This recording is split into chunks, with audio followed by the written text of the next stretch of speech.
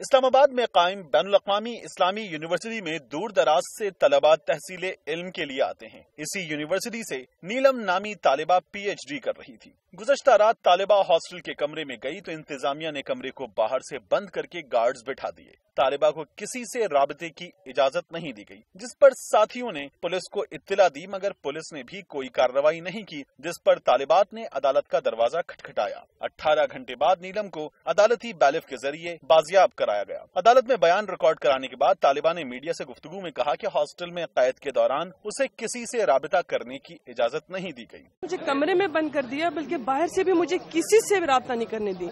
यहाँ तक कि जब मैंने दरवाजे के नीचे से एप्लीकेशन फेंकी अपने दोस्त को कि वो एस एच ओ को पहुँचा दे उन्होंने वो उनको पकड़ने नहीं दी। मेरा रूम लॉक कर दिया है और सारा सामान ले गए और दो दफ़ा दूसरी दफ़ा लेके गए। अच्छा आप भी आ and we all are scared हमारे हॉस्टल में सब बच्चे स्केयर्ड है। हम सारी लड़कियों को समझ नहीं आती किसी भी टाइम गार्ड आ सकते। तालिबा के वकील ने वाकई को इंसानी हकूक की खिलाफ वर्जी करार दिया है। कानून में और अखलाकियात के किसी पैमाने के तहत किसी बच्ची को फीमेल स्टूडेंट को इसी तरह कमरे में 18 घंटे से ज़्यादा वक्त के लिए महबूस रखना और ये साबित हो गया है, क्योंकि इसको बरामद करने वाले अदालती अमला है। अदालत ने यूनिवर्सिटी इंतजामिया के खिलाफ कार्रवाई का हुक्म दे दिया है। दूसरी जानब पुलिस ने हॉस्टल के असिस्टेंट वार्डन को गिरफ़्तार कर लिया, तहम हॉस्टल वार्डन मफरूर है।